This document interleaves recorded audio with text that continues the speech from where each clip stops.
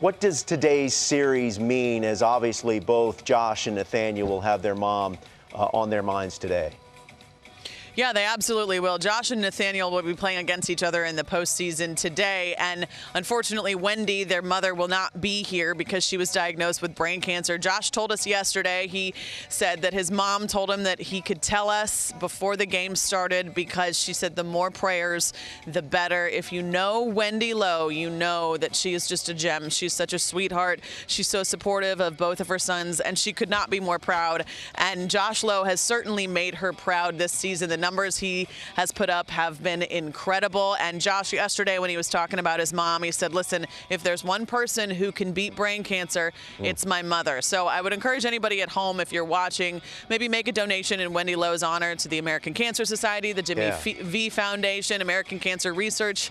Um, that would, I know, really go a long way for them. So their hearts will be heavy, but Wendy will be watching, and I know that both Josh and Nathaniel will make her proud. Well, we're sending our best to Wendy and, of course, Josh and Nathaniel uh, as they get ready to take on uh, each other in game one of this series. Uh, let's talk about the, the injuries that the Tampa Bay Rays have had to deal with here. Of course, this is a franchise has had to deal with a whole bunch, but some key losses uh, to some key players recently. Jose Siri, Yandy Diaz, and Luke Raley.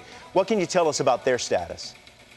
I was going to say, Robert, when you bring up the injuries, I want to say which one because yeah. the Rays have been plagued with so many injuries this season. And I know every team goes through injuries, but perhaps the Rays have suffered potentially the worst in the league, some of these injuries. But here's the good news. Jose Siri and Luke Raley did take batting practice live BP yesterday, and they both look good. We're waiting word on whether or not they will be ready to go today, but they are optimistic. Yandy Diaz is completely ready to go today. The AL batting title champion. He was struggling with a little bit of a hamstring issue, but he is ready to go. He looks back to his normal self in Toronto. So if they can get Jose Siri back specifically in center field for their defense, that's a boost. If Yandy Diaz can, can perform like he has all, all season, that is also a boost. Luke Raley, he has been so good for the Rays since he made the opening day roster at the start of the season.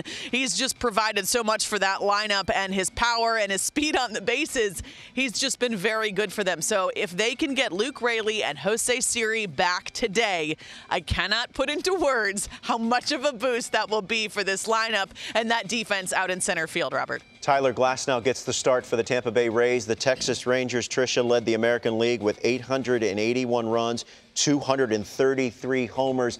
What are the expectations for Glasnow today?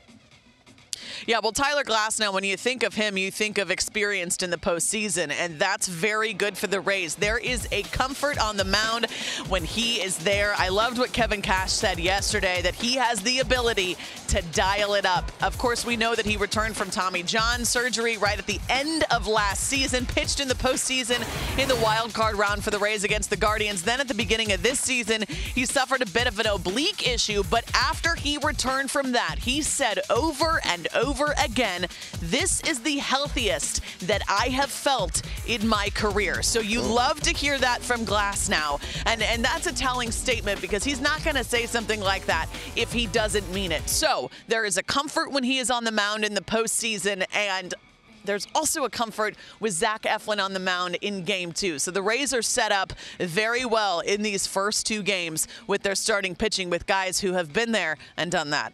What's the bullpen plan for the Rays? Yeah, that's a great question, Robert. So, game three, we're not sure what we're going to see yet. You could see a combination of Aaron Civale, Zach Littell, and then the bullpen the rest of the way. They do expect potentially Zach Littell coming out of the bullpen, Taj Bradley coming out of the bullpen. Both of those guys were starters this season, but when you look at the bullpen options for the Rays, you feel very, very good.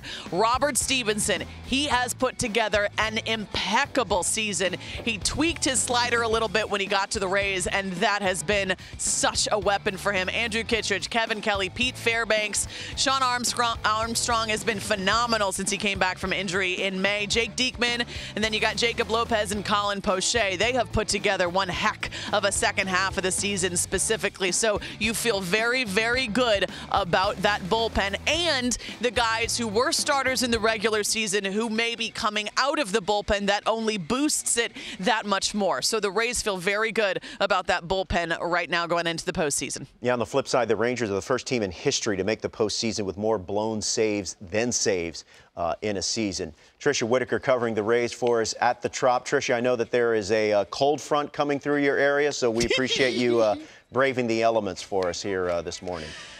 I always bring my sweater, Robert, because I cannot handle anything 70 degrees mm-hmm. or lower, as I know you guys like to make fun of me for. Yeah. But it is it's going to get treacherous out here. So thoughts and prayers, please, for yeah, this, we, for we this cold front we coming. applaud your courage. Thank you very much. That's Tricia Whitaker covering the Tampa Bay Rays in advance of uh, this afternoon's game one between the Rangers and Rays.